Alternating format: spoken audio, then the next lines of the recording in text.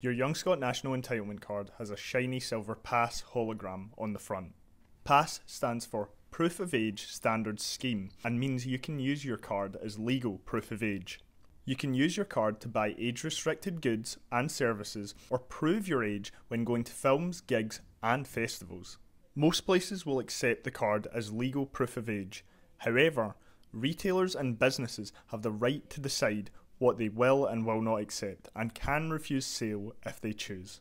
The card is only legal proof of age if the hologram isn't damaged. You can update your photo and replace your card for free. Find out more at getyournec.scot.